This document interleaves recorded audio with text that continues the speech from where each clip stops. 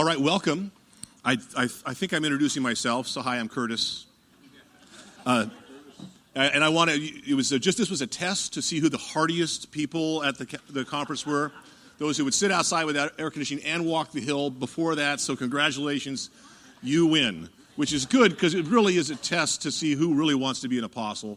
So, um, now that I know that I got the, I, I've got the people that have been inspired by the talks this morning about trusting God and His loving mercy uh, we can get going. I, what I'd like to do is uh, we've got an hour and 15 minutes. I'm thinking probably going 40, 45 minutes to do some Q&A afterwards, and then we'll have a little bit of a break so you can uh, march back down the hill before the next session. And, uh, but I'm happy to stick around uh, until maybe four or five minutes before the next session begins on a smaller level if you have more questions. And why don't we go ahead and begin a prayer? In the name of the Father, the Son, and the Holy Spirit, amen. Lord God, you are a loving, merciful God and you have loved us since you created us. Even before each of us were created, we were created in your mind. You, you had the thought of us long before we were conceived in our mother's wombs. We were conceived in your mind. And you love the idea of us. So much so that even when sin wounded us and we turned our back on you through our own personal sin, your, your love did not diminish in any way, shape, or form. But rather, you sent your son to live amongst us and, and not just teach, but to model the way to live as a faithful son, so that we, as sons and daughters, could imitate him in all things. We entrust his time to you, and we pray not only for ourselves, but for family members and loved ones, and for the church in a whole who is experiencing a tremendous crisis and trial right now. Lord, that you would bring many people to conversion, including ourselves to deeper level of conversion, that you'd heal and restore our family members back to the full practice of the faith. We entrust ourselves to you through the care of your mother as we pray together. Hail Mary, full of grace, the Lord is with thee. Blessed art thou among women, and blessed is the fruit of thy womb, Jesus. Holy Mary, Mother of God, pray for us sinners, now and at the hour of our death. Amen. St. Francis, name of the Father, the Son, and the Holy Spirit. Amen. What I'd like to try to do is uh, I have a general theme, and then we're going to narrow in, as I said at the introduction last night, on two basic themes. And so the idea is that Jesus doesn't just teach us in what he says. Uh, good teachers do that. They say good things and they teach people. But Jesus teaches us, as, as the church teaches us at Vatican II, through words and deeds. He both tells us but also shows us. In fact, God does this throughout salvation history with events, with people, and with the things that are taught, more, never more so than with Jesus. And I would argue that in some ways, Jesus' model has been somewhat overlooked in our modern church and would be, we'd be well served to return to his model. Now, we can do many things uh, in, in, following Christ, but I want to direct our gaze to two areas. Two areas where in the last 22 years I've seen more fruitfulness, uh, more effectiveness, where I've seen in my own personal life, as I've, as I've watched what God has been doing in the lives of, first of all, you know, dozens and then hundreds and thousands and then tens of thousands of young people, and there's patterns that, that arise. And then how I've tried to take that back into my own personal life and say, well, if that's the pattern, if I were to imitate Christ in this pattern, would it bear more fruit? And I've watched hearts and minds that were, that were cooled or even closed kind of melt. And to be able to see this is truly effective. And, I, I, so I'm going to boil it down. There's many, many things you could learn, and I'll talk tomorrow in our plenary session from a different perspective. There's many things we could learn and, and imitate Christ. Some of them we probably can't. And I say that with my dear friend and esteemed, uh, I won't say colleague because she's far beyond me, but Mary Healy's in the back over there, uh, biblical scholar. But not all of us are going to be called to do extraordinary things for God. But we are called to do ordinary things extraordinarily well. We see this in St. Therese's The Little Way. And we'll talk more about that. But I want to look at two things. I want to look primarily that Jesus lived a radical uh, ministry of presence. He made himself present in a crazy sort of way. Not only did the eternal Son become man, that's crazy, but then the way he lived with intentionality with a few in order to reach the whole world, also amazing kind of counterintuitive. Particularly in this modern world, we're quick to say, hey, let's get a web page, or we'll do some television, or we'll fly all over the world and we'll go big. And Jesus could have been born right now. He could have been born whenever he wanted. He was born, as we're told in Galatians, at the fullness of time, the perfect time. And he, the time he chose didn't have any of those things. And, uh, and nothing wrong with any of those things at all. I would say it's the modern spiritual warfare is kind of like modern warfare you can't possibly win without air supremacy. But, it's, but battles are actually won on the ground, eyeball to eyeball. And, and it's even more so true for spiritual warfare because we're not fighting against the people we disagree with, we're fighting for them. We're trying to win them, not beat them. And in order to do that, you need to get into their lives and you have to let them know that they're loved before they agree with us. We're told in Scripture that while we were yet sinners, Christ died for us. And so there's this crazy ministry of presence. And I would argue that not only did he model that uh, in history, but, but, he still models it today. And the second piece is going to be, and I, I, think many of you will, will be able to resonate with that. You're at a Catholic conference, many of you for more than the first time, and, and there, we'll, I'll kind of leave an action point with each of these two items, and they'll be simple. But this first one may not require a whole lot of change in your life. Second one might a little bit because we're going to talk a little bit about how Jesus taught and, and why I think it's so important. And the way Jesus taught was as a storyteller. Jesus tells stories over and over and over again. And I would argue that the greatest storytellers in the history of creation are the members of the Judeo Christian tradition. And they, they, they're just the best storytellers. Eh, throughout all of, of time, until about the last 50, 60 years. And Madison Avenue and Hollywood tell stories better than we do right now, which is too bad because we still have the best story. We'll talk about that. I'm going to spend a little bit more time on that piece because I think it's going to be a little bit more novel to you. Um, just so, so, that we can set up the urgency of what we're talking about. And I'm here to present hope. I'm going to be with you for 40 minutes or so, as I said, and I'm going to spend about uh, 45 seconds on the bad news, just so we know that we're up against a challenge. There's about a 20% chance today that if you raise your child Catholic, they're going to be a practicing Catholic by the time they're 25. Uh, or if you're, if, it's, if you're already through that phase, there's about a 20% chance that your children are going to raise your grandchildren to be practicing Catholics. And that's a devastating stat to recognize that, that this is, uh, the church doesn't operate like this. We are going through a crisis of faith that's unprecedented. And, uh, and, but don't despair because God created you and, and, and timed your existence on earth to be here right now. You were literally created to walk through this crisis. And that doesn't mean that it's going to be comfortable, but it does mean that it's going to be amazing. I think of Martin Luther King Jr. If there had not been a civil rights crisis, you would not have ever heard of him, neither would have I. It was the unbelievably uncomfortable, problematic, unjust circumstances that he was born into and then chose to uh, try to live faithfulness to Christ and to walk into that and I'm not here to judge the pros or cons of Martin Luther King Jr. I'm saying he became a great man because he, he was stepped into an injustice. And if that's true of Martin Luther King Jr., how much more of Jesus Christ, who walked into the most unjust situation, the reign of Satan in the world, and, and allowed him, himself to be proven to be the greatest of all time by doing the greatest thing at the hardest place. And so this is a call to action for us, but to recognize that it's not just that we're not keeping our Catholics, we're actually hemorrhaging Catholics. For every one Catholic that joins the Catholic Church, usually at Easter, six people leave the Catholic Church. And so we are in an unsustainable hemorrhage at this point in time. And I'm, I'm done with the bad news because I want to tell you there's a solution for this, and it's simple, and it, it's not easy, but it's simple. Everybody here can do this, um, but it involves changing our habits, and changing habits are, uh, are hard. Years ago, I, I uh, was, was working on a book and I would take breaks and, uh, and I would see late night television commercials for this thing called the Bowflex. And, uh, and, and, and, when I first saw the Bowflex, I said, there's no way I'm going to buy that. And, and then, uh, you know, but three or four times a week I saw the commercial for the Bowflex and I realized those people are in better shape than I am. And, um, and I said, but I'm still not going to buy it. And I probably saw the commercial 20 or 30 times and I thought, I mean, I could buy it, uh, uh, you know. And, and, then I, and then I finally saw it 40, 50, 60 times and I bought it. But you know what? That's not enough. You actually have to use it. So I can, I can sell you the Bowflex today, but you have to change your habits, and that's the hard part. It's simple, and, and, and I'm not going to ask you to do anything that's painful, but we have to change our habits. And I want to I want to uh, liken what we're talking about in the new evangelization as to lighting a fire and then spreading the fire. Because I think that evangelization of the world is a lot like that. And the first step is you have to light the fire.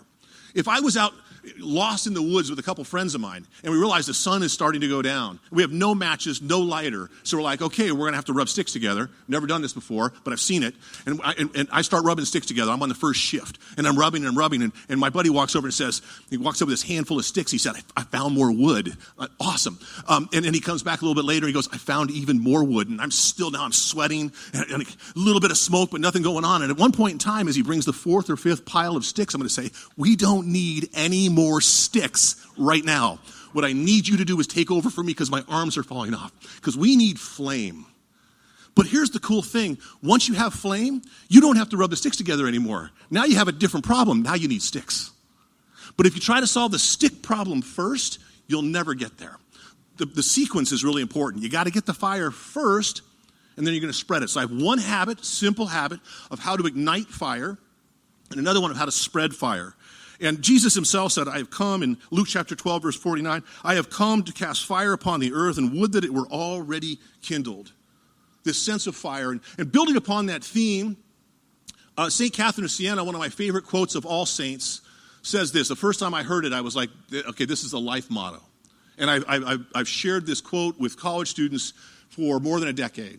And she said, and this is true of each one of us if you are what you were meant to be, you would set the world on fire if you are what you were meant to be, you would set the world on fire.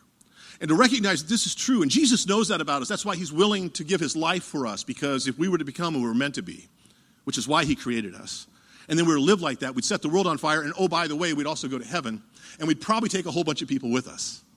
And while we can talk about Christianity as a life improvement program, and it is, I have a better life because I'm a Christian. I married a woman who's faithful to me. I've been faithful to her. I don't cheat on my taxes. I haven't been put in prison because I don't break the laws. Well, sometimes when I'm battling against abortion, I, I, I break laws that are unjust. But I don't break laws that would get me put in prison. And so I haven't spent much time in prison. I actually have a better life. I actually have friends who are honest and generous. And, and honest people always make better friends than dishonest. So there is a life improvement piece, but that's completely secondary. All that matters in Christianity is going to heaven. That's, that's the key. It's heaven or hell. As, as Cardinal Newman said, about to be canonized, everyone who ever lived still does, somewhere. And that's all that matters. And to be able to recognize, we have to, to see that this is actually worth the effort because we're playing for all the marbles. And sure, it's great to have these other things, to have a nice life, but as Jesus said, seek first my kingdom and my righteousness, then all these things will be added on to you. To have these things and not have his kingdom and his righteousness makes us a cosmic failure. And to be able to recognize we've got to get this. And that's true. We, we have our church, I believe, who um, need the members of the church to be set on fire, beginning with me. And it's, it's not a one and done. The times the, we have this enemy, the devil, who, when we're not looking, likes to put our fire out. And he does it with lots of ways. Uh, Jesus talks about a, a, few of them. He talks about the parable of soils, and he says we get, we get concerned about the things of the world and distracted with the anxieties, and we begin to lose our fruitfulness. And if we're not careful, our flame will go out. Mary's dear friend and partner, and, and my friend Peter Herbeck, said to me years ago something that when I first heard it was bone chilling. But I actually, the more I thought about it, I said I knew it was true of me, at least a part of my life. He said, Curtis, I believe that the vast majority of Catholics are in a loveless marriage with God. Uh, you know, we as Catholics, we really are married. We're in covenant with God. We've been baptized. We're in covenant. But I, I talk to Catholics a lot, and, and when I talk to them, uh, they, they look like they've been playing basketball for an hour and they're tired. So you say, you know, How's it going being Catholic? And they'll, they'll kind of grab their knees and start breathing heavy and go, oh. So it's really hard. It's always Lent, you know, and, and it's, it's, um, it, it, there's this heaviness to be able to, and, and it's not supposed to be that way. It doesn't mean there won't be difficulties in being Catholic. But in Matthew chapter 13, verse 44, one of the shortest parables, shortest stories in the scriptures, Jesus says the kingdom of heaven is like a treasure hidden in a field, which a man found, and he hid it. And for joy over it, he went and sold all that he had so he could buy the field. In, in, in this situation, the joy comes before the selling. But I think a lot of Catholics I meet, the selling comes before the joy. Well, if I could just be better, if I could just give up more, I, I would eventually be happy. And they kind of view our Catholic faith as cosmic fire insurance. I'm talking to one young guy. How's, how's your faith going? Oh, it's really hard. Are you going to leave? No. Why not? Oh, I don't want to go to hell. Which, which is a good reason not to leave, but it's not the best reason to stay. And, and, and, so to be able to recognize, we as a church will be the kind of people who can set fires if we ourselves are living from a place of encounter. And I want to talk about where that can happen. And it, it can happen in all sorts of ways. There are thousands of ways to encounter Christ. And what do I mean by encounter? I mean to have this aha moment where all of a sudden the God we know, we all of a sudden know his love is real, it's personal, it's, it's, it's not something that's purely historical. Maybe you've seen the play or the movie Fiddler on the Roof. In the movie, the, the main character has three daughters, and they refuse to accept the arranged marriages and want to marry guys they want to be in love with. And he married a woman, Tevye married a woman who he was arranged in. And after he watches the third daughter re- refuse to take an arranged marriage, he's like, Well, they all want to marry people they're in love with. And he turns to his wife and says, sings the song, Do You Love Me? And she responds, well, for 25 years, I've cooked your food and washed your clothes. What do you mean? And three or four times he says, yeah, but do you love me? And she goes back to the practical stuff that's involved in marriage. And at the end of the song, she says, Yeah, I suppose I do.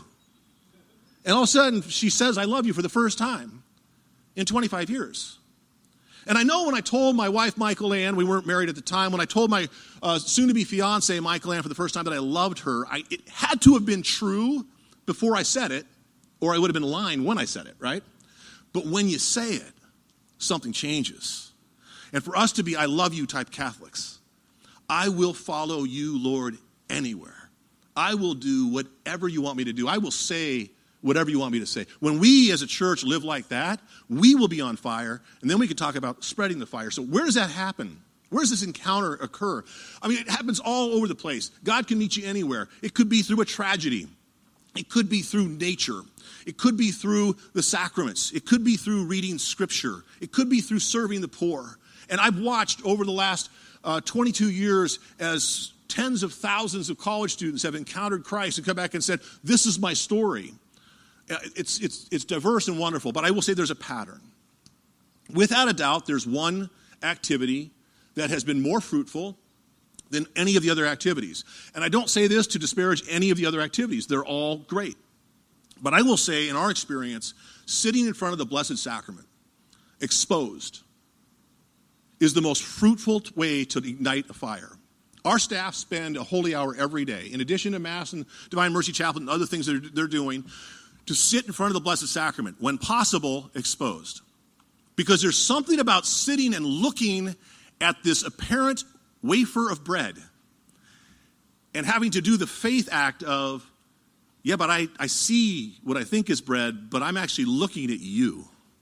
There's something amazing about the way that reality happens. We've watched thousands and thousands of young people. We hold a conference every year. Mary has spoken at it. And, uh, and, and we, we hold this conference, and we bring some of the best speakers in the country. Scott Hahn speaks, Ted Sri speaks, Mary Healy speaks. We've got great speakers. I mean, we try to pride ourselves in trying to find the very best, most engaging speakers we can find. And we, we do a survey at the end of the conference and rate all the activities. And Jesus beats the speakers. It's so cool. And he doesn't do anything. He just sits there, pretend, pretending to look like bread. And thousands, of, it's, it's amazing the thing what happens. So, so, you sit there. I was with a friend who had never been before, and, and adoration began. And on this particular evening, probably 10,000 people there. And, uh, and about 20 minutes after Jesus exposed, hundreds of people got up and left. And he goes, Why are they leaving? I said, They're not leaving, they're going to confession. And we had hundreds of priests over at the side and, and literally thousands of young people going to confession. Last year, we were down in Indianapolis, and, and thousands of people, had over 6,500 confessions heard, and uh, it was amazing to watch. And, and, and as this is going on, one of the cameramen says, Hey, I need to take a bathroom break. And so they, it, it, it gets over, the, the, the backup cameraman comes up, he says, I'm, I'm kidding, I just need to go to confession. I haven't been in years and to be able to sit back and say, we had, we had a policeman who was there for security, and he said, Can I do this next year? I hadn't been to confession in 10 years, and I went. And to be able to watch Jesus in the Blessed Sacrament, and then the ability to get to confession. That we believe is the best way. There's, there's, it's up to God how it's going to work in your life or in your family member's life. Don't force God to work. I'm just saying the pattern we see is that adoration, and that's my invitation to you, that you would increase the amount of time you're, fr- you're spending in front of the Blessed Sacrament because you have to be on fire more than you are today to be able to impact your others. And then when you have the chance to bring people, bring them to a place where they can sit in front of the Blessed Sacrament. Because one of the things I love about what happens when you put people in front of the Blessed Sacrament and they're moved to sit, and this was true for me as I, as I went to adoration for the first time in many, many years, not practicing my Catholic faith. And I looked at the, at the host, and I knew enough Catholic theology to know that Catholics thought that was Jesus. But I wasn't sure it was Jesus. But I wasn't sure it wasn't Jesus. In my mind, I'm thinking about all the scripture passages I know, and, you know, this is my body, and you must eat my flesh. And I'm like, those all sound very, very Catholic. And I'm not a Catholic Christian right now. And uh, I, I, felt compelled. There's, there's no kind of middle ground. Either it is Jesus, and I should fall on my knees, maybe on my face, or it's not Jesus, and I should get out of the room and try to get the other people out of the room also because they're worshiping bread. Uh, there's no middle ground. And it led me on a two year journey uh, to, to come back to the Catholic Church of praying and reading and discovering the church fathers and, and, and poring over scriptures and finally going to confession. But what the priests tell me uh, about the focus conference, about the adoration event, is that um, they, this is so beautiful. I said, I, obviously, we can't tell you what we heard, but I will tell you these are the confessions I became a priest to hear. It's not, I was angry with my sister, or uh, somebody cut me off on the highway and, and, and I yelled. Uh, these are, I'm dead in sin and I want to come home would you please give me new life? And so I want to encourage you, if you, if you already have the habit of spending time in front of the Blessed Sacrament, um, then maybe it's adding five more minutes. If you're already praying a half hour a day or, or, or more, then it's probably beginning to pray, God, who do you want me to bring to sit here with me? One of the things that we've, we've done, and I saw this model for me with Scott Hahn. Scott Hahn, when I was here in graduate school in the 90s, did not tell me that I should make holy hours. He said, What, what are you doing tomorrow at 6 o'clock in the morning? And we went and made holy hours together. He didn't tell me what to do, he showed me what to do. And to be able to sit back and say, you can invite people, but let, let God put them on your heart.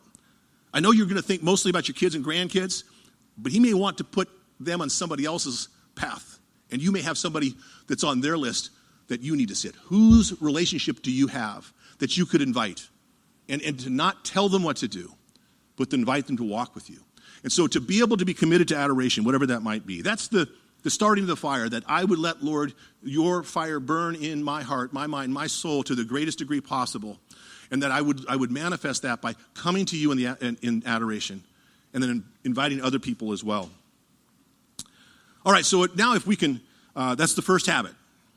And like I said, many of you are already praying. And for some of it's a prayer every day, and now it's just saying, well, you know what? I could actually spend an extra seven minutes and drive to church and pray in front of the Blessed Sacrament, even if it's just once a day. You're praying every day, but you're, but you're going to get to the church once a week. Um, the key thing here is not how much you're praying. It ha- has to probably be at least seven, eight, ten minutes, enough to quiet down. And, uh, and I, I, would argue probably 15, 20 minutes better than that, but the, the amount's not important. The consistency. The consistency. If I sit back and say, hey, I, have got this great diet and I'm on it uh, one day a month, that, that doesn't work. It's the consistency that's more important than the specifics. And so I want to encourage you on that. The other one is actually something, uh, much of what we're talking about today and tomorrow is in the book Making Missionary Disciples, which is in the bookstore. And it really is what we've learned in the last 21 years. This was written a year ago. We're now in our 22nd year. What did we learn?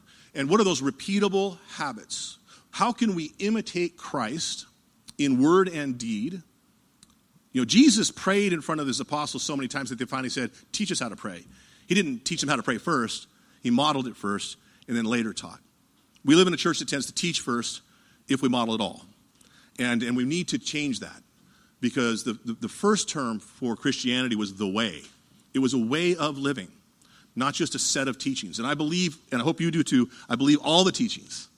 I believe them all. They're absolutely necessary, but they're not sufficient. There's more than teachings to being a Catholic.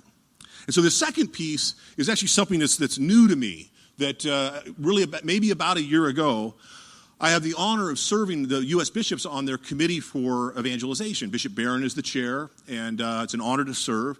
I, I serve Archbishop Chaput on the, bishop, on the committee for the laity as well, and I love Archbishop Chaput. He's been the closest thing to a spiritual father of any priest in my life. He used to be the Archbishop of Denver, and that's where I live. He was my spiritual director for a decade.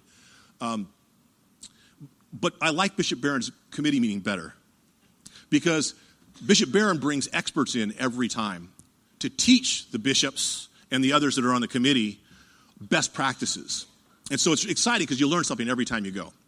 And so it's, it's always fun. And the way it works is the, it's a hierarchy. So the bishops all sit at one end of the table, and then the staff who work for them sit in the middle of the table, and then the consultors sit at the end of the table, kind of with a tail. The head's up there, the tail's down here. But when the experts come in, they sit at the tail. So they're right next to me. So I get to talk to them during the breaks. I've learned a lot of fun things, but there's been one that has changed the way I think about things, maybe more than uh, anything else that I've heard in the two years that I've served on the committee. Christian Smith, who is a sociologist out of Notre Dame, really, really solid guy, written a number of books. He has a book coming up, which I'm going to talk about. And it's a, it, you can order it on, on, uh, on Amazon, but it's actually not out quite yet. But it's, the cover is done. It'll be out within a few weeks. Uh, and you don't need to get the book because I'm going to tell you the, the main thing right now. Um, and, uh, it's, it's so critical. So he's talking to the bishops about his previous work, and he's probably got more insight as to what's going on with young people and the faith than anybody on earth. And, and, and from a position of faith, he's a man of deep faith. And I, I had been to talks, I'd, I'd, read some of his articles, um, and I'd been to some of his talks, but I'd never met him because we were always in crowds. And, uh, and he knew about focus, but we, he'd never met me because I'd never met him. It works that way. And, uh, and so um, so he gives his presentation. It's really good. And so I said, that was really good. And I, I said, I, I, want to introduce myself. I'm Curtis Martin. And he goes, oh, from Focus. I said, yeah. I said, I've been an admirer of your work for a long time. He goes, I love Focus. You're going to love my next book. And I said, well, what? Tell me about it. He said, uh, so I have a team of about 100 researchers. And so we found uh, uh, hundreds of families who raised children, and none of those children practiced their faith as adults. And we found hundreds of families, and all of their children practice their faith as adults. And we asked all of those families hundreds of questions. What did you do and not do? And he said, Curtis, there was a very clear pattern. One thing rose above everything else. Every, there were things that were important. Did you have family meals together? It was important. Did you pray the rosary together? It was important. Did you take them to mass consistently? Important. But, but the most important, more important than anything else, he said, and I'm, like, now I'm sitting back, oh, well, that'd be great to know. And so you'll have to come to my talk tomorrow to hear that. I'm kidding. The, uh, just kidding. Uh, uh, he said, the families that raised children who grew up to be adults who practiced their faith had the habit of having spiritual conversations with their children on a regular basis. Spirit, and I want to talk to you for the rest of our time, and the second habit will be based upon this. Um, we used to be the best storytellers in the world. Our church, uh, and before us, our Jewish brothers and sisters, the best storytellers. In fact, you can imagine, actually, we're told in, in, in, Genesis that Abraham was chosen by God because he would instruct his children. And you have to go back and say, there's a very real possibility that Abraham was illiterate. There were very, very few books back then. And, and so, and it, it, wasn't just his children, but it, it was the people in his household. And many of them probably were not literate. There were very few books, very few people knew how to read. But Abraham would sit around the campfire at night as the patriarch and tell stories about his ancestors, about Adam and Noah and, and Shem and the great characters at that time in history. And he'd tell him what he knew about God and how God was an amazing God. I just imagine this, this, this man leaning up the campfire and, and all the little boys and girls just listening. Tell, tell, us more. Tell us another one. Have you ever had that? Talking to, you're telling a story to a child or a grandchild? Do one more, one more. And, uh, and there's this sense when, when we tell stories, something changes. When we share principles, we make lists and we talk kind of officially and point to things and say, and then the second point is that when we tell stories, we're like, okay, and then it went like this. And when you start to talk about a narrative, people lean in. And, and the, the Bible's filled with narratives. There are 69 chapters of narrative before the Ten Commandments. It's in Exodus chapter 20. But there's the first 50 chapters of Genesis and the first 19 chapters of Exodus are all narrative. God tells us stories before he tells us principles. We live in a church that tells us principles before they share the stories. And the problem is is that when you only share the principles, you don't establish relationships. And there's a principle in parenting that says rules without relationship lead to rebellion. And we're living in a culture of rebellion. And it's because we have not established relationship. And, and the, the, best way to do that is to become a storyteller. Because it's not, you know, what, what happens for us right now, if you're like me, when it's Thanksgiving or Easter or Christmas, and we're supposed to get together with our family members, some of whom aren't practicing their faith anymore, we get in arguments.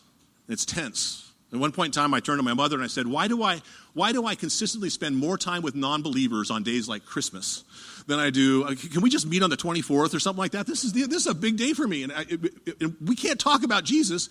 And, and, but we were talking about why they weren't walking with Jesus rather than about what Jesus and who he was. And you tell stories, and it eliminates some of the controversy. And, and it, Dr. Sri's going to give a great talk, which I've heard before on relativism uh, in his breakout. Uh, but the key there is you don't even have to believe that King David ever lived to tell the story about David and Bathsheba and Uriah. It's still a great story. They did exist, which makes it even better. But to recognize that story does away with relativism, because I don't need to I don't need to agree with you about the facts. I'm just going to listen to your story. We do it all the time. In fact, we do it more than any culture in the history of the world. The amount of things that we have to believe are true that aren't true to watch a movie is crazy. It's called suspending disbelief. And narrative allows us to do that. So, what I'd like to do is I'd like to talk to you about this because Jesus told stories. And, and, and, many of those stories were historical. And, and salvation history is a long, lengthy historical story. Ted and I wrote a book together uh, called The Real Story, in which it just talks about those stories. It really is, a, there's a, the passage in the road to Emmaus. And in the passage of the road to Emmaus, uh, Jesus begins with Moses, the book of Genesis. Uh, Moses is the author of Genesis, and explains all the scriptures, so the entire Old Testament, to them and how those, those books spoke of him. And there's not a single word about what Jesus actually said. And so Ted and I try to reconstruct what he might have said, beginning with, with Adam and going forward in a story form. Because we need to become storytellers. If we want to win our, our families' hearts, we want to win our world, we need to tell stories better. And I'd like to give an example of that. So, but before we do that, let me say the power of that. See, we mentioned earlier that the best storytellers right now are actually Madison Avenue. And, uh, I, I, would argue a set of not just stories, but meta narratives. A meta narrative is not just a story, it, it, it's a story of stories. It's a whole chain of stories, like the Star Wars is a meta narrative. It's not just a story, it's lots and lots and lots of stories over many, many years. Salvation history is another meta narrative. But the meta narratives that have been told to us are Star Wars and uh, Game of Thrones and Harry Potter. And I'm not here to criticize, don't watch the, the Game of Thrones show, but I'm not here to criticize those meta narratives as I am as much to say they're actually meta narratives that don't have Jesus at the center. There's no need for Jesus. If, if you believe in Jesus, you can spiritualize Star Wars, um, and, and, and there's some legitimacy to it. Obi Wan Kenobi, the, the, term Kenobi is based on Cenobite, or a monk. Um, there's some connections there, but there's no Trinity at the center of Star Wars. And the problem is, if, if our young people don't know salvation history, but they do know these stories, they begin to think that the world doesn't need the Trinity at the middle of it. And then we're in trouble because we need to teach them a, a, a story that's true so they'll recognize the world doesn't make any sense without the Trinity at the center of it, without the crucifixion in the center of our history. To be able to say that. So, what I'd like to do is I'd like to introduce you to something you've probably heard of, may already do, but I'd like to put a, a little bit of a twist to it. The, the, the, concept is what's called Lectio Divina. And in, in, the beginning of Ted's and my book, we quote Cardinal Ratzinger, who at the time had not, oh, I guess he was already Pope. So we quoted Benedict XVI. And he says, Lectio Divina is the diligent reading of sacred scripture accompanied with prayer. And it brings about an intimate dialogue in which the person reading hears God who is speaking and in praying responds to him with trust. If the church were to practice this, I believe it would bring the church to a new springtime. So this is powerful uh, idea, but I think with what I'm about to share with you, you can do this. You, what's cool is you don't have to be Scott Hahn to do what we're about to talk about. I don't know if you have this experience when you listen to Scott, but I, can, I, I get intimidated. I, I study with Scott, and, um, and, and, and, he mentored me for, for seven years while I lived here. Uh, I was only in grad school for two. I had a job the other five. It didn't take me seven years. Um, and he mentored me. And, uh, but I remember my, my final semester in grad school, I had an independent study with Scott. and uh, he wanted me to read a thousand pages a day. And I, I had childhood dyslexia. I don't read a thousand pages a year. And um, I, I got great retention, but I don't read fast at all. And I, I am I'm reading, and and my eyeballs are bleeding. I, I, just can't take it. I mean, I'm not even close. I'm getting, I'm getting into the upper hundreds, but I'm not even getting close to a thousand. I just can't read that much. I'm spending all day reading, and I, and he's giving me books to read, and some of them are just horrible. Just like there's nothing in them. At one point in time, I walked up this big 600 page book, and I said, "Why'd you make me read this?" And Scott has a photographic memory. So Scott grabs the book and he opens it up to page 465 and he goes, That line right there is amazing. Are you kidding me? Oh my goodness, why would you make me spend a week trying just chewing on cotton? It was just horrible. You know, but that's the, but it, the scary thing was, Scott was, when I was trying to read more than I'd ever read in my life, Scott was still reading more than me every day. And he's smarter than I am, so he was remembering more and, and understanding more. And it can be kind of intimidating. I'm really grateful for Scott Hahn, but, but I actually had an argument with, uh, with a buddy of mine, Danny Abramowicz, and I uh, did a program together called Crossing the Goal. And Danny's been a friend for a long time. He played in the NFL and coached the NFL. And about two years into working on this television program with Danny, we're having this argument. And he said, uh, So you're telling me you'd rather have a college sophomore lead a Bible study than Scott Hahn? And I said, Absolutely. Because guess what? There's only one Scott Hahn. And we're not going to see another one. Whereas there's millions of college sophomores. And if we could get them to be able to speak clearly about the scriptures, we could set the world on fire. Now, they need the insights that Scott's giving them. Thank God for his role in the body of Christ. But if you build a system on duplicating Scott Hahn's, we're done. And, and, and, so we need to recognize this is something that all of us could do. So what I'd like to do is I'd like to take a look. And basically, what we're going to do is we're going to prayerfully read the scriptures. And you can time me if you want. It's going to take a couple of minutes. Um, and uh, we will and then what I want to do is, I'll, I'll, these are scripture passages I read before. And then what I'm going to do is I'm going to put it down and I'm going to retell the story in my own words. And I, I, found it's very important to start with the scriptures because my retelling is not the word of God. The scriptures are. So you should read the word of God first, but not a long section, few verses, and then retell the story because there's crazy stuff. I'm going to talk about the crazy stuff Jesus did tomorrow in the plenary session. I want to talk about the crazy stuff he said um, and to some degrees did as well here, but in, in a very different way. And just look and see, we read stuff in the scriptures as faithful Catholics, and we've got this funny relationship with the Bible where we sit back and say, Amen, Lord. Yes, Lord. I don't understand anything I'm reading, but yes, it's your word. And because uh, there's, there's crazy stuff that should bother us. Why, why, why would you do that? So let me give you a couple of examples. Go to Luke chapter 5. And uh, this is the, this, you know this passage well. This is what's so fun about what we're doing is that when you start practicing Lectio, and I, when you do Lectio, you can do this with all the scriptures. But I would encourage you to do Matthew, Mark, Luke, John, Acts, repeat. And do those five books at least three times before you do anything else. Because you're going to find Jesus more clearly in these books than any place else. And then once you have done this for a while, and it takes, it takes months, because you, you might read one section for two weeks because you're chewing on it going, I, don't, I, I, think I found something I don't understand, but I, I, don't know the answers to it. And you'll, you'll pray through it for a few days or even a week, and then you'll sit back and go, I got to go find a commentary because I don't know why this is here. And then you go, look, don't start with the commentary. Wrestle with it a little bit on your own. Because the commentaries will, will, will short circuit it. You actually want to be in a place where you're like, I don't understand. St. Augustine said, God put difficulties in the scriptures so that we come back to them again and again and again. You can't say, oh, yeah, I read that. No, you, you got to read it again and again. So you know this passage. If you're starting your uh, clock, you can start it now. And Jesus saw two boats by the lake. This is Luke chapter 5, verse 2 and following. And Jesus saw two boats by the lake, but the fishermen had gone out of them and were washing their nets. Getting into one of the boats, which was Simon's, he asked him to put out a little from the land. And he sat down and he taught the people from the boat. And when he ceased speaking, he said to Simon, Put out into the deep and let your nets down for a catch.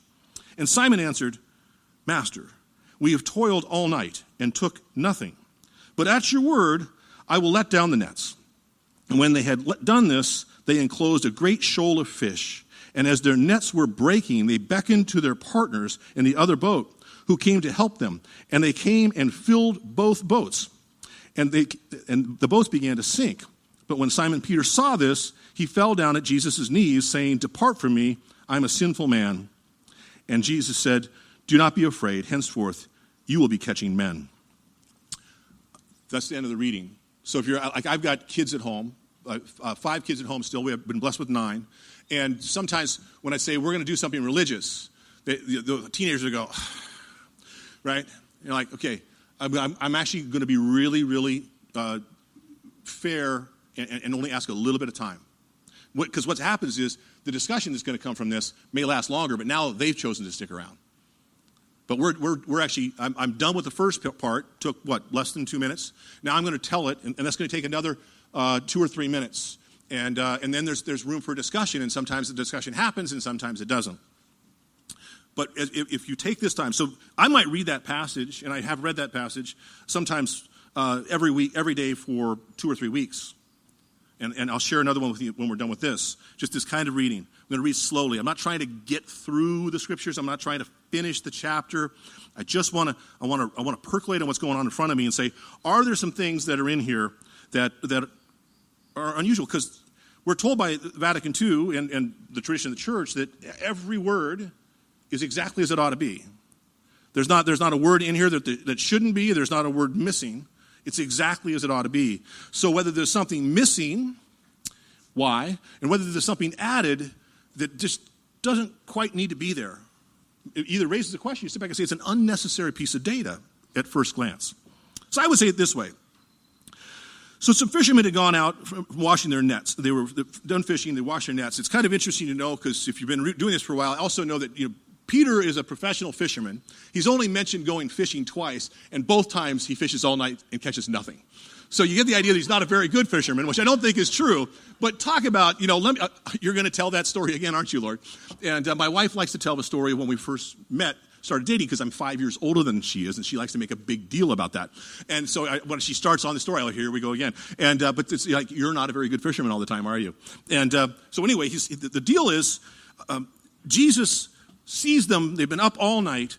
It, Peter's probably frustrated, he's tired, might be a little grumpy, at least tempted to be grumpy, and he's doing the thing that fishermen don't really love to do, but you have to do it because your nets are your livelihood. He's washing his nets. Why he washed his nets, I'm not quite sure. He didn't catch anything; they weren't dirty. But anyway, he's washing his nets, and so th- th- he's he's they're doing it. It's a, it's a kind of a tedious task at the end of fishing if you've had a good day or night. It's a really frustrating task if you've had a bad day or night. And so Jesus says, Can I use the boat? Can we put out just a little bit? And, and so Peter's kind of probably huffing and puffing a little bit, or I would be. And, and Jesus is giving a teaching, and, and, and, it's not recorded what he said. And so it, how long he talked, we don't really know. He just said when he was done, he said, Let's go out into the deep. And, and my thought, my first thing that strikes me is, do you think Jesus knew that he was going to tell Peter to go fishing when he first got there? Of course he did. He's God. So why did he not say, hey, hold off on washing the nets? Have you ever been in a situation where you feel like God's asking you to do something it doesn't make any sense? He's, he's allowing you to do something and it's not bearing any fruit? And, uh, and that's one of these situations right here. He does it all the time, all the time. He asks us to do crazy, crazy things, or, or, or, just allow us to do crazy things and not correct us. He knew he's going to go fishing pretty much exactly when he finished washing the nets, right? Now it's time to go fishing. and, and there's obviously some trust because Peter says, Master. So he, he's got some sense of trust. It's a whole different talk. I think probably his, his brother Andrew and, and uh, had, we were pretty sure from John chapter 1, had met Jesus earlier at his baptism. John, uh, Andrew, Peter's brother, was a disciple of John the Baptist. And if you're in my mind, you sit back and say, well, they were at his baptism and, and they said, we want to follow you. And he said, great, I need to spend 40 days in the wilderness. You go home and I'll come get you. And so 40 days later, he shows up and Andrew's like, that's the guy, that's the guy. Let him use your boat. Let him use your boat. And, Peter's like, well, whatever. Just want to finish my nets. And, uh, and now he's like, okay, master, if, if the story's right, you're a carpenter, not a fisherman. What are we doing? And then, and then he catches the best catch of his entire life, a professional fisherman, best. And, and you know, you know what he said. I mean, he said exactly what I would have said. He says, this is amazing. We should go in the fishing business together. Right? I mean, why, why, would you not do that? I mean, I was just, this is great. It's your first date, so we'll call it Curtis and Jesus fishing. Um, no, no, no, no. I, I, can see where this is going. We'll call it Jesus and Curtis uh, fishing. And, and I think that if you had said that, or I had said that, I think that Jesus would have said, Yeah, see, I don't want to be your partner. I want to be the Lord of your life. I want you to quit your job, and I want you to sell everything you have and come follow me. And, and my question for you is have you ever had a quit your job moment with God? Because that's one of those encounters. He, doesn't, he, he may not ask you to quit your job, but have you ever been to the point where, like, I would quit my job if you told me to? Um, and to sit back and say, actually, following you is just more important than anything and everything. And, and, and I'm done with that. That's the, that's the retelling. So that was probably, what, three minutes? Three and a half? And, and, and when you know the story well enough that you could actually retell it and you see a few things in they're like, why would he let him wash his nets? Why would Peter fall down and say, Depart from me, I'm a sinful man, instead of, Why don't we go in the fishing business together? And then, isn't it odd that, that Peter walks away from the greatest catch? He doesn't even start to clean the fish. And it's not just Peter, it's Andrew, his brother. And it's not just Peter and Andrew, it's James and John, their partners. Four of the 12 apostles are called right here. And they literally walk away from the best catch of their professional careers and don't clean or prepare a single fish. They look at their elderly fathers and say, I, I got to go. And Jesus said, You got to love me more than you love your mother or your father. You're not worthy of me. And see, when you've sat and paused and sit like that and you ask people, like, what's, so have you ever had a quit your job moment? And, you know, most nine year olds haven't. But you start, you start. To, I watch this now because we, we, I learned this a little while ago, and I shared it with my wife, and she said we need to start doing this. So on Sundays we do this. In fact, for the summer we've been trying to do it every every evening, just right after dinner, five seven minutes. And you know what? They've never said, uh, "No, I don't want to do it." It's it's kind of like, "Hey, do you know? Can you tell me another story?" And, and I believe if we were to do this and start to have spiritual conversations with our loved ones you would draw them to the heart of the faith and they would catch fire and be able to spread it. And to be able to recognize this is how we keep people Catholic and draw them back into the faith. Not to tell them, you know, when's the last time you went to Mass? I'm really disappointed you're not going to Mass. Yeah, you know what? I hate this conversation. And, and we feel obliged to do it, but I actually don't think, while we should be obliged to try to win them back, the key thing there is win them back, not, not lecture them back. It hardly ever works. And it's really hard not to, because it's the most important thing to us, right? I mean, I've told my, my, my kids right before my, my first son got married, I said, you know, we, we want to pull back the curtain a little bit. The, the, whole project here is for you to get to heaven and to take our grandkids who don't exist yet into heaven. It's why we've done everything. Not always well, but it's why we did everything. And we want to invite you on the other side of the table now to be part of the solution here. And I'm honored to say that we're four for four so far. Two of our four are missionaries of FOCUS, and, uh, and, and they're on mission with us, all of them. But to be able to see to, to have these spiritual conversations, not about the church crisis. Some of us need to talk about that some of the time. Maybe all of us have to talk about it a little bit of the time. But you don't win souls to Christ and to the church by talking about the crisis or expressing frustration.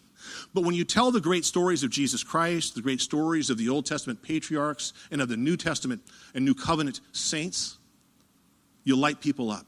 St. Ignatius of Loyola was wounded in battle was almost killed by a cannonball, and all there was was a Bible and the lives of the saints. And he started reading the stories and started to have spiritual conversations, at first in his own imagination, and then in, and then with, in prayer. And then he sat back and said, Oh my goodness, I've been serving an earthly king and almost died. These people serve a heavenly king. I want to spend the rest of my life serving him. He had a quit my job moment and founded the Jesuits. And to be able to recognize that. And it's interesting that when Ignatius of Loyola was founding the Jesuits, his young Jesuits would gather around him, and when he would give their, their assignments and they'd end their meetings, it'd always end it the same way.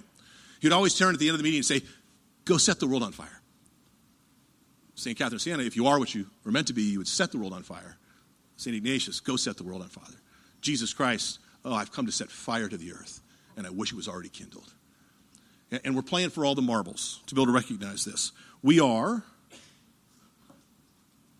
I'm going to do one more very quickly just to show you that this can be done anywhere. And again, you can time me if you want. Uh, the setting is this. Always good to know the context uh, of where you are. I'll be brief.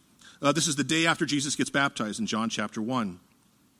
It says, The next day, John was standing with two of his disciples. That's John the Baptist, with two of his disciples. It becomes explicit that Andrew is one of them. Um, and, and, he looked at, at Jesus as he walked by and pointed to Jesus and said, Behold, the Lamb of God. The two disciples heard him say this, and they followed Jesus. Jesus turned and saw them following and said to them, What do you seek? And they said to him, Rabbi, which means teacher, where are you staying? And he said to them, Come and see. And they came and saw where he was staying, and it was about 4 o'clock in the afternoon. I'm done reading. I'm going to retell. So, one of the things that Lectio invites you to do is kind of get your imagination engaged and, and to sit back and say, what was this kind of like? Just as I did before, that Peter might have been frustrated or grumbling or, or, or you know, tired or, or why or puzzled that why Jesus would wait until he was done washing his nets to say, let's go fishing. And in this one, I think it's kind of interesting. It's, it's, the day after Jesus is baptized, which is kind of a crazy day, and two of John the Baptist's disciples who thought this could be the guy, they, they quit their jobs and uh, they were younger brothers, so they probably didn't have a job because the older brothers got the job, got the business. And so they were, they were thinking, okay, we're going to find the Messiah. So they're down there listening to John the Baptist, like, this is the guy, this is the guy, this is the guy. And then one day Jesus shows up and John says, that's the guy. And they're like, oh, wow. We thought you were the guy, but you're saying he's the guy. And crazy stuff was happening. You know, you got an argument in the water who's going to baptize who? And John lost uh, and, and, and, baptized Jesus. And, uh, and the bird comes out of heaven, there's a voice and, uh, and it's, it's, it's kind of crazy what's going on. And so they're wowed by Jesus, but they've been with John. And now all of a sudden, Jesus is leaving, and there's, there's no cell phones. You can't like ping them and find out where they are. He's walking, and if he goes over the next hill, he's gone. You, you good luck finding him. And so they got to make this decision like, okay, there goes Jesus. But John, we, and, and, no time for goodbye. Jesus is on his way, and like, oh, wow. And they start to walk, and then there, there's kind of this awkward thing where they're walking after him, right? And, and, and ever been walking and you think somebody's behind you and you, you kind of turn around? And in my mind, you know, Jesus is kind of walking and he turns around and, and uh, Andrew and, and John are like, you know, and, and it happens two or three times and finally he, Jesus catches them looking at him and he says, what do you seek? And they're like, I don't know. I, there's not a script here. Where are you staying? Was that a good question? I don't know if it's a good question. And, and, and Jesus says, Come and see. And, and, they came and saw, and it was about four o'clock in the afternoon. And this passage bothered me. Because why do we need to know that it's four o'clock in the afternoon? It's 2,000 years ago. Does it really matter? Could it have been 2.30? Why does it have to be? Who cares that it's 4 o'clock in the afternoon? Uh, it was very frustrating to me that there was this incredible detail in John chapter 1. And to highlight it, and I've already mentioned this, if you literally take a pin in, in 4 o'clock in John chapter 1 and go back one page, you're at the end of Luke's gospel, and you're at the road to Emmaus. And Jesus gives the greatest Bible study in the history of the world and doesn't share a single word. The scriptures don't give us a single word. Oh my goodness, I would love a little more detail here. Even a couple more chapters. Nothing. Turn the page, it's four o'clock. Who's doing the editing in this book? Why in the world would you want to know that? But there's got to be a reason because Guess who did the editing? The Holy Spirit did the editing. It's exactly what it should be. And this is one of the ones where I couldn't get it on my own. And I read it and I read it over and over again. I probably had it for two, two and a half weeks. I'm like, what, what am I missing? And I go back and read some of the commentaries, and they said, uh, this was the moment when John's life changed. He's the author of the gospel. And um, he's, he's, at some point in time, he's, he's exiled in the island of Patmos. And uh, he's, he's a mystic. He's deep in prayer. And I don't know exactly how it happened, but in, in my imagination, he's praying and he hears, John, I want you to tell my story. And if it was me, I would have said, Look, I, re- I read Matthew, Mark, and Luke. They're awesome.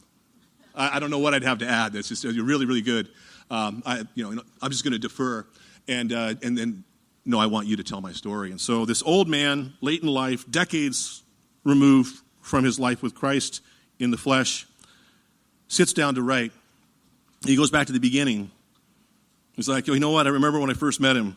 Andrew and I were there with John, and he got baptized. And the next day, he was walking away, and it was, uh, what do you seek? Where are you staying? Come and see. And we, and we did. And uh, I remember it was in the afternoon. My life completely changed at that moment. It would never be the same. It was about four o'clock. And the question for you is what's your four o'clock? Have you had those moments? Because if you haven't, God wants you to have them. So get close to the scriptures and get close to the Eucharist and the Blessed Sacrament and, and, and be able to know the love story. And, and, if you have, foster more of them because it's not a one and done. I, I don't get to tell Michaelann, look, I told you I loved you. I will tell you if I change my mind. It, it doesn't work that way. I, I, our, our love affair, our marriage should be an, an enduring love affair. And it is when it's healthy. And, and our faith is the same way. But John, at, at four o'clock in the afternoon, see, it was, it was decades later. All the other apostles, by the time he writes this, are all dead. They've all been martyred. He's the last one. He's the last one to give testimony of, of, in the Gospels. And he's reminded of his four o'clock. And I think uh, that framework of the four o'clock has been something that I've shared with college students now for five or six years is, um, is compelling. It gives you them something to think about. I've had, we've had focused missionaries who have gotten married at 4 o'clock in the afternoon because of this passage. And to be able to recognize this is a paradigm for me. My dad died, and I'll close with this and we can take some uh, questions. My dad died a couple years ago. He died at home, and my family was surrounding him. And, and when he passed, about 2 o'clock in the morning, we just spontaneously began to tell stories of life with dad. And we, cry, we cried and we laughed. And, uh, but what I realized is that that's, that's all the Gospels are. They're just telling stories of times with Jesus. Remember that time he gave that Sermon on the Mount? That was awesome. Remember, the time he, he forgave that woman caught in adultery? It's just one four o'clock moment after another. There were millions of them. John says if everything was, that he said and done was written down, all the books in the world would not contain it. These are the ones that were written down. They're the best of the best. And they're written in such a way, under the inspiration of the Holy Spirit, to provoke and, and, and enshrine the opportunity to have spiritual conversations. But for you to do it, you have to read it and know it so well that you could retell it yourselves. And here's the beautiful thing it's not hard. It's not hard. People were doing it for centuries, and they didn't even know how to read. This is not a you got to get a doctorate. This is a you need to spend time in the scriptures. So, my second and final action point for you is that you would begin to read the scriptures prayerfully on a daily basis, slowly, and that you would begin to pray for the opportunity to have spiritual conversations about what you're reading. Maybe on a Sunday, it's the Lord's Day. I frequently struggle with, I know we're supposed to make the Lord's Day holy. I'm not exactly sure beyond Mass and, and avoiding shopping what that is. And for us to have spiritual conversations on a Sunday has been a great thing for my family. And so, um, with that, I think that if we live the encounter in whatever way God wants that, but the most frequent one we've seen is, front, is in front of the Blessed Sacrament and invite others to do the same. And then if we were to prayerfully read the scriptures and learn those passages well enough so that we could tell them ourselves, we would be able to set hearts on fire and spread that fire throughout the world. So, my invitation for you is these two opportunities, these two actions. Simple, not, not hard, except for the fact that it's a change in habit. And that as you do, my prayer for you will be that you will go set the world on fire. Love to take some questions. Yes?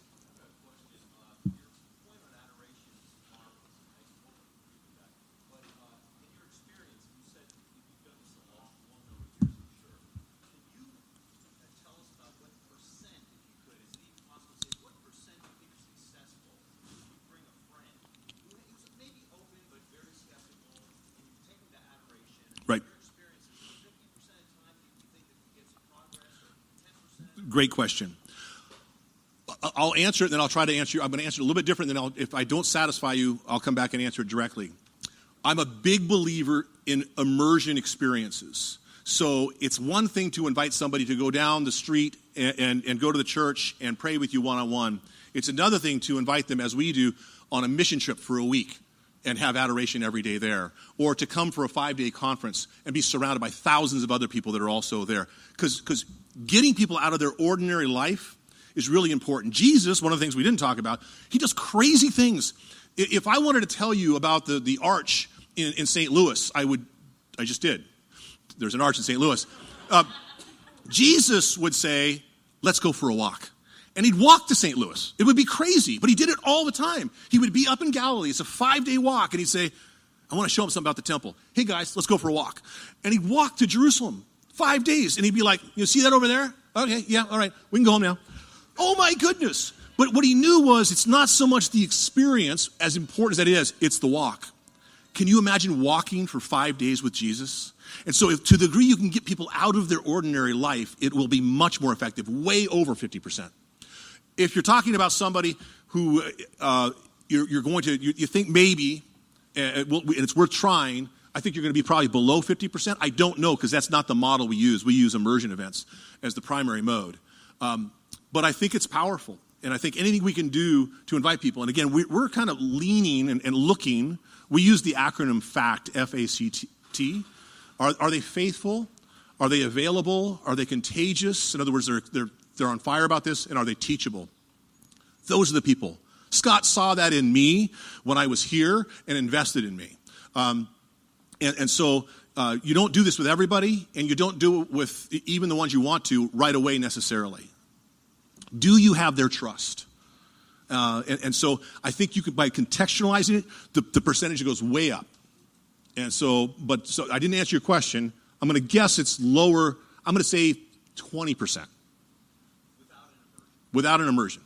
Over 50%. I mean, we just literally, I mean, it's thousands and thousands and thousands of people. Um, and, and it's not, it's, it's, a four o'clock moment, but it's also, um, we, we have folks who are not involved in our program but come to, to a five day conference with us and discern their vocation. And we don't even count those people in our numbers because we didn't walk with them. But they're still having the experience because they're surrounded by people and they're like, oh my goodness, maybe this desire I have to be faithful isn't crazy. Because I think a lot of young people today who have faith are embarrassed by it. I know I've, I've met a young girl who said, I used to tell my roommates I was going to a party on Saturday night and I'd go to Mass. But I didn't want to tell them because I was embarrassed. And to be able to sit back and say, actually, I've met some really awesome people who are also faithful is such a relief. I think for anybody of any age, but particularly for a young adult. Good enough? Good enough. Okay. Fantastic. Yes, Father.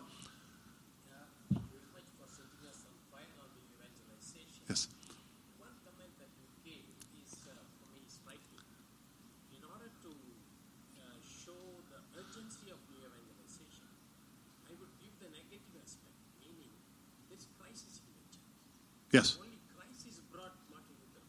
Right. Yes. So why don't we say only 5% of the go to church? So for the, the for the recording, uh, why don't we, if, if, crisis can lead to greatness, can create this, the space where greatness can be, we mentioned Martin Luther King Jr. and Jesus as two individuals in history who, who were born into crisis and were great. Um, I would, I would actually argue absolutely we ought to. It strikes me that, that there's a prayer that every priest and every religious prays every day called Liturgy of the Hours. And in the Liturgy of the Hours, most of the prayer are the Psalms. And the Psalms, I just literally, I've been doing Lectio in the Psalms for the last six months. I literally just finished last week.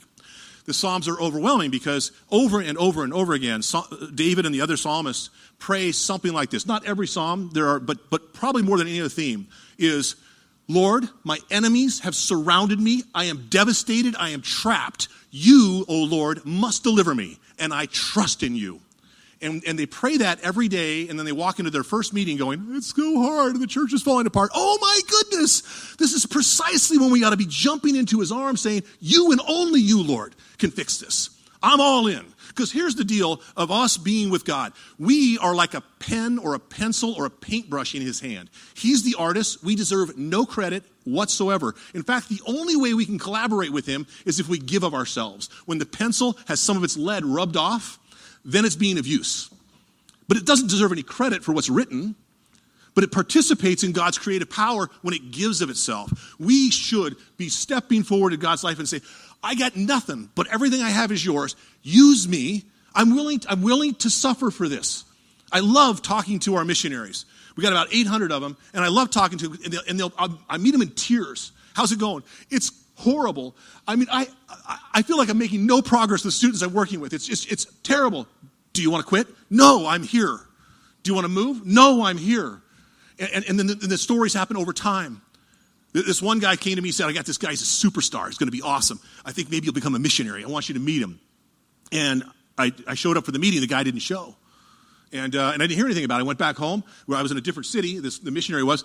And uh, I talked to him about three months later and I said, So, Greg, how's the things going with that guy? And he goes, I was hoping you wouldn't ask that question. He, um, he actually not only didn't show up to the meeting with you, he's blown off everything he hasn't gone to a single Bible study. He hasn't met with me. He won't take my calls. Actually, the chaplain on campus met him and said, Hey, long time no see. Why don't you give me your phone number? And he gave him the wrong phone number. And he goes, I, I just, I'm such a failure. And uh, he said, I was, I, I'm embarrassed to tell you the story. And then I talked to Greg about uh, five months later. I said, Greg, how you doing? And he goes, you know, I got to tell you the, sec- the last chapter of this book. About three weeks ago, knock on the Newman Center door, and uh, the priest opens the door, and, he's, and the guy says, the same guy says, I've been running for almost a year. God's called me to the priesthood, and I'm in. And uh, Good Friday didn't look good on Good Friday. Um, it doesn't look good right now. But Jesus Christ did not save the world with his amazing teachings, and they are amazing. And he did not save the world with his amazing healings, and they are amazing. He saved us by suffering and dying for us. And if you think we've got another way, there's no other way except to spend ourselves and trust to him. And so I'm all in. We should pray the Psalms, whether it's in the Psalter and, and, and the Liturgy of the Hours, as a religious and a priest and bishops do, or whether it's just Lectio, as I just did, and just sit back and say, almost half of them, I don't know how many, more than 50 of the 150 are written by David. Um, and he was a man after God's own heart. And to be able to sit back and say, we need men and women after God's own heart. So I'm all in. And I actually think that telling young people today that there is a crisis and that they have a role to play, and if they don't play it, there's no backup plan. There's only, God created you to be you, there's no, there's no other you. And if you decide to play video games and get addicted to pornography, then stuff that was supposed to happen is not going to happen. Because you talk to young people, they're like, I'm not hurting anybody. Are you kidding me? If you were a fireman and the alarm went off and you were playing video games and you said, I'm not hurting anybody, you would lose your job and you might go to jail. Of course, you're hurting somebody. You have a specific task. And when young people hear this, they're like, Really? Show me how to live that. Yes?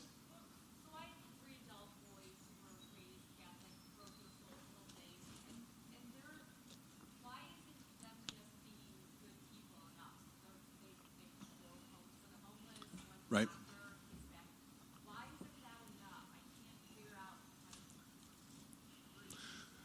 Yeah, I mean, the, the, uh, the, the, third book, which I didn't mention, uh, that I brought was uh, the one that I wrote a few years ago called Made for More. They were made for more and to live for less. Um, the Pope Benedict, on his first Mass as Pope, I, I, was with my wife. We were, we were doing this very difficult um, miss, missionary work uh, in Hawaii. And, um, and, and, so we happened to be in Hawaii when this was going on.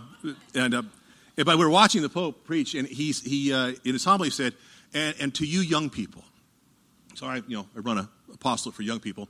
I leaned forward, he said, the world offers you comfort, but you were not made for comfort.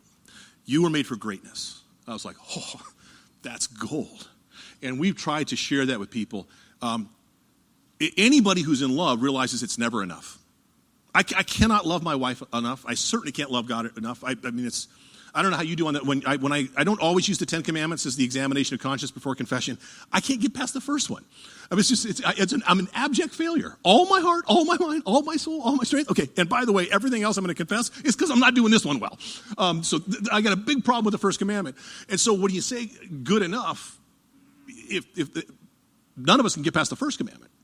And to be able to recognize, can we set the bar higher?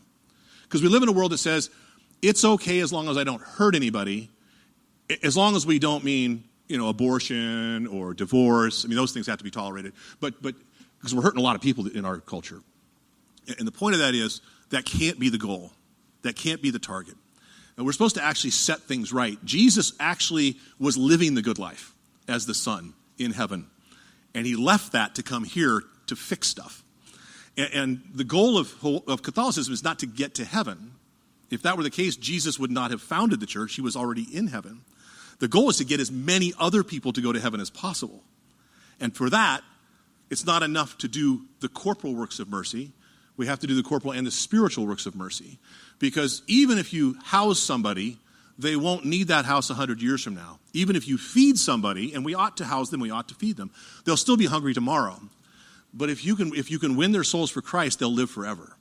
So the spiritual works of mercy are frequently second in, in, in priority because we have to feed them and care for them first. You can't evangelize a starving person. But they're never second in significance. The spiritual works of mercy are far more significant because it affects the soul, which lives forever. And the only chance the body has of living forever is if it's attached to a soul that's going to live forever. I think we are. We got time for one more. Yes, two more. Well, I'll be quick. Uh, my chap, I was thinking of something what you said about the parish. Yeah. Talking a lot about mission. Yeah. Um, we have adoration Awesome. 24, available 24 hours. It's like a desert. One person here, one person Right. there. Would it be beneficial to go back to, why don't we try and have a- an adoration where it's more like a holy hour? Right. Get a lot of people coming. Sure. I'm trying to get a lot of I do think sometimes it's important to take a step back before you take five steps forward. And I, but I don't know your circumstances well enough to answer. What I would say is my experience is that Jesus wants to be adored, and it's easier to do so in a group. Uh, it, it, it, there's horror stories of people coming in for at the 2 a.m. hour, and then the 3 a.m. person doesn't show up, and the 4 a.m. person doesn't show up, the 5 a.m. You know, I'm not going to do that again. I just spent six hours, and I, I was late for work. All kinds of stuff. Whereas when you build momentum, it's great. Our experience has been we committed to the holy hour. It wasn't 24 7 and FOCUS right away. But the church, the churches weren't always open, so literally weren't open. We would hold holy hours on the front porch of the church. We know you're in there. And within six months, the doors would be open. In one of our, one of our campuses, there, the Eucharist was in a, uh, a closet, in the, and the tabernacle looked like a, a college refrigerator, a little mini refrigerator. I'm- It might have been, I don't know. And, um, and, and there was no room to sit in the, where the, the Eucharist was. And so, but our staff started coming, and, and they, would, they would sit outside the, the, the door, and they were told, don't do that. Okay. So they would walk by and they would genuflect, and they were said, don't do that. So they walk by and they'd make the sign of the cross and say, don't do that. And then walk by and they'd go, and make an act of adoration by a simple nod, and that was subtle enough that they didn't get in trouble for it. But within a year and a half, the, the tabernacle was back behind the altar and in the center, and, and adoration was begun. Jesus wants to be adored. We have to go first. And so building momentum is great, but you don't necessarily have to stop the 24 7. You could still start one hour a week where people gather, and it would be a time to invite people. And then you can tell them about, hey, we're trying to keep watch with them.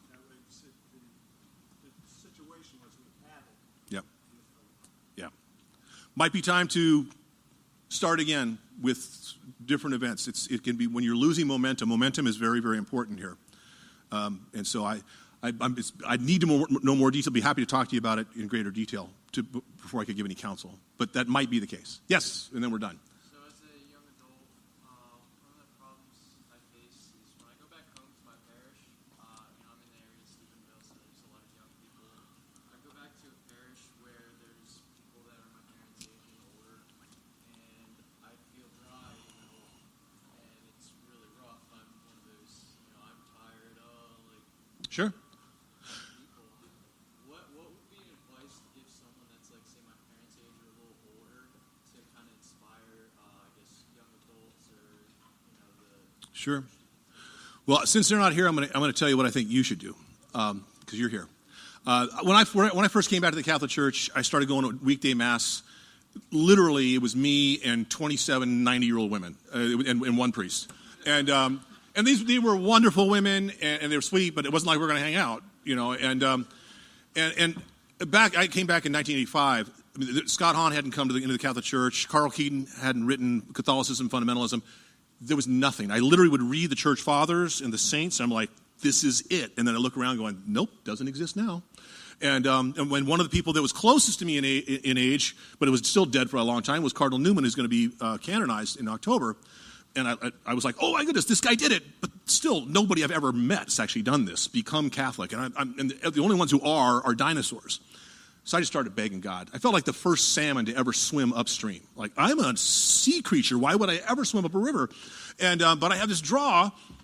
I said, Lord, you got to give me a companion. I- So go to Mass every day. For the first six months, I wasn't receiving communion. I hadn't come back yet, but I was pretty sure I was on my way. And, and, and then after I started receiving communion, it's like, you got to give me somebody to walk with. I need somebody. And, um, and I'd stay for a half hour after every Mass and pray. Lord, I want to follow you. I want to be true to you. I'm so sorry I turned my back on you. I'm in for the rest of my life.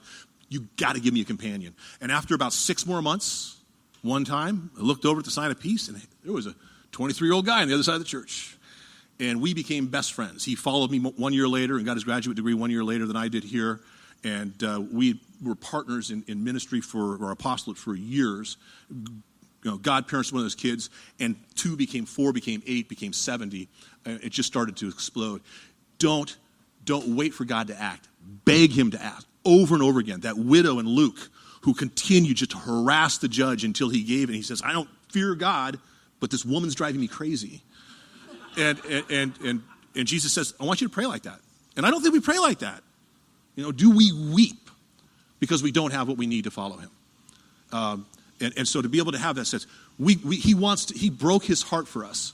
He wants us to imitate him and have broken hearts for what we're doing. I want to thank you for weathering the heat and the distance. I know you've got someplace to go, but I'm very grateful for my time together. Let's close in a quick prayer. In the name of the Father, Son, and Holy Spirit. Amen. Lord, we love you and want to love you, want people to come to faith in you and to be with you forever as we pray together. Glory be to the Father and to the Son, to the Holy Spirit, as it was in the beginning, is now, and ever shall be, a world without end. Amen. Father, Son, and Holy Spirit, amen. Thank you so much.